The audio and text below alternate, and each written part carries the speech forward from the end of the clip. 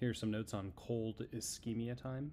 When you do an organ transplant, you require removing the organ and storing it for some time without blood supply.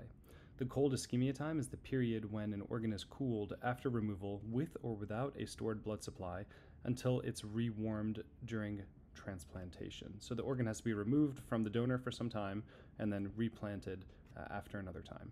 The time that you can leave an organ ischemic cold with reduced or stopped blood supply differs for different organs. And there are various sources that cite different numbers, but this is uh, an approximate average that was found.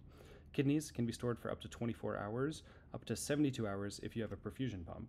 The liver can be stored for 6 to 10 hours, and the heart and lungs can be stored for 4 to 6 hours.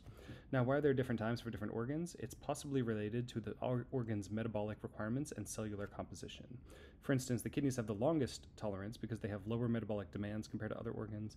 They're structurally more resilient to ischemia due to their tissue composition, and maybe they maintain basic cellular integrity even with reduced oxygen and nutrients. On the other hand, the heart and the lungs have a shorter cold ischemia time because they have very high metabolic demands, they're constantly active, they contain tissues that are extremely sensitive to oxygen deprivation, and they suffer more rapid cellular damage when deprived of normal blood flow.